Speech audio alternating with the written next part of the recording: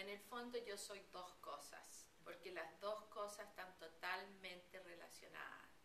Soy artista y soy diseñadora. Y hago las dos cosas y las he hecho toda mi vida. Son dos medios distintos de arte. Uno hoy en día es la computadora y el otro es el, la tela para pintar. Eh, yo gano mi,